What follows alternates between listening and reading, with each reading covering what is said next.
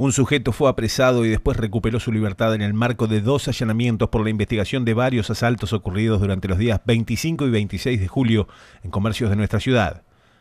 Con la anuencia del juzgado de garantías número 2 se efectuaron diligencias en una vivienda de calle 71 bis y la restante en una propiedad de calle 67 bis. En el primero de los casos la policía y la justicia secuestraron prendas de vestir usadas por el autor de los hechos y un teléfono celular para fines periciales, como así también procedió a la aprehensión del morador del inmueble de 30 años y con antecedentes penales por el delito de robo agravado. Este recuperó su libertad de acuerdo a normas legales en vigencia.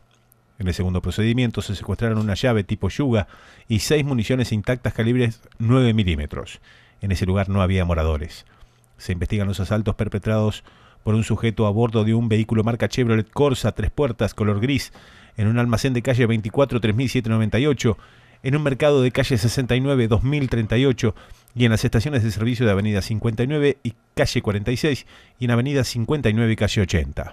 Los allanamientos fueron efectuados por personal del Gabinete de Prevención del Delito de la Seccional Tercera en forma conjunta con uniformados de la Dirección Departamental de Investigaciones.